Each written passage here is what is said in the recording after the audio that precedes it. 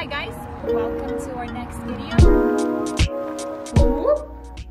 No, bad lighting. Oh my gosh, what a day. It's 11.18. Hi guys, welcome to our next video. Today we are at this beautiful park in Denver having some brunch and we're gonna start crocheting a new project. We're gonna work on a cardigan even though it's 90 degrees outside saw this photo of an elephant and so I thought that would be a perfect piece for the back of a cardigan but what if I make a vest too? I haven't decided yet. So we're gonna start working on that. We're gonna work 73 chains on the back piece and then we're gonna work up the, the elephant. And so today I'm gonna use the brown color because that's the most color that I had at my house and this for the elephant to kind of make it pop and kind of funky. So let's start working and then see how it goes.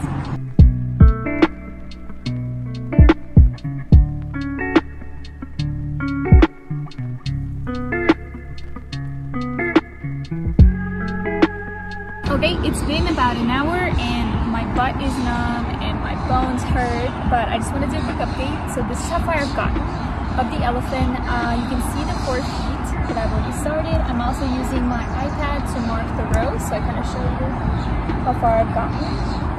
So I'm going to continue working at home because I'm very sore on the ground. And so let's keep going and take it back home and then continue working on the back piece of the elephant. So I started to bench watch this show called Manifest on Netflix. It's a TV drama about this plane that has disappeared for five years, but the passengers didn't age. They thought it's only been few hours since they plane since the plane left Jamaica, but on Earth it's been five years, and let's just say a lot has changed a lot goes on in a year. Imagine five years being missing. So everyone thought the people were dead until they landed one day. Um, I won't spoil anymore, but let's just say there's some powers in the TV show, like unnatural powers, I would say. But it was pretty good. If you like this video, give it a thumbs up and subscribe. I love making new content every week. So I'm just doing a little quick update. So it is, what time is it?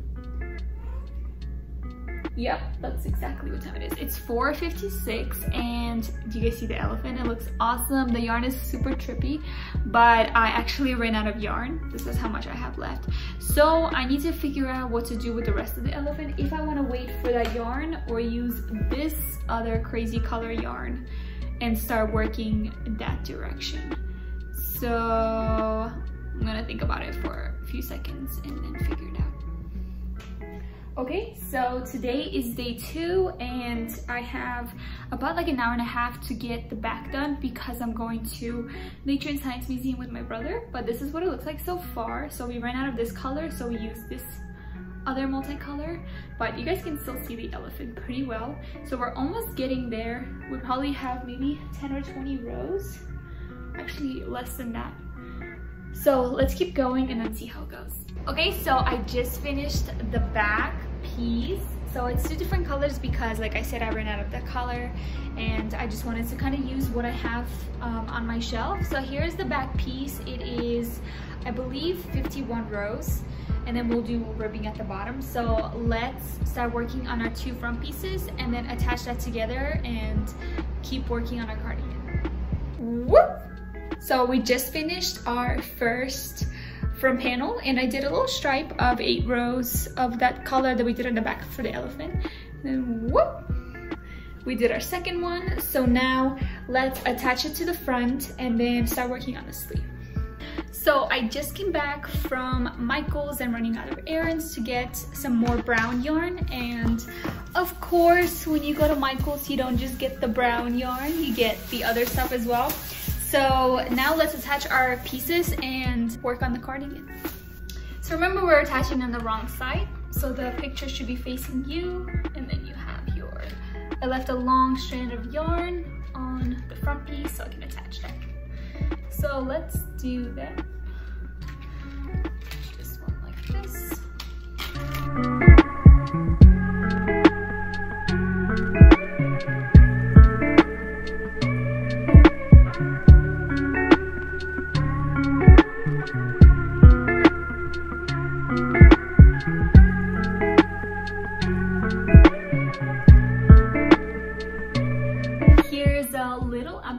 I attached the front and the back.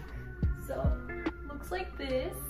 And I did buy brown yarn for sleeves, but then I was thinking, what if I do green sleeves? Because the green and brown looks really good together. So I might do green sleeve and then leave the brown for the ribbing inside and on the cuffs. And then do maybe green pockets on the sides to make it kind of a little bit more, more flowy of the colors. But here it is. Let's keep going and start working on the sleeve.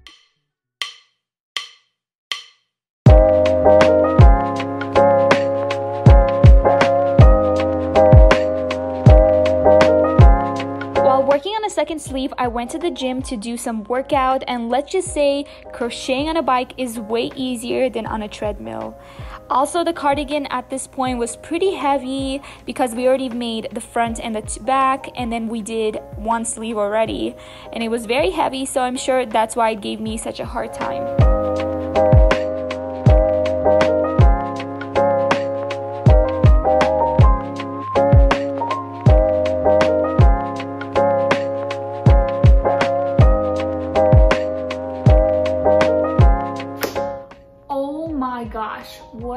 What a day. It's 11 18 um, June 20th, which is the longest day of the year and it's also Father's Day.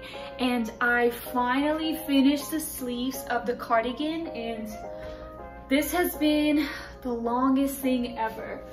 So the sleeves are, the green part is 43 rows Funny story, so I finished one sleeve, 43 rows. I get to the second sleeve and I'm 40 rows in. I have three more rows left and then I run out of yarn. So I search everywhere in my house to find this color and I cannot find it. I have so many shades of green, but none of it was this light green. So I go to Michael's and I look for it.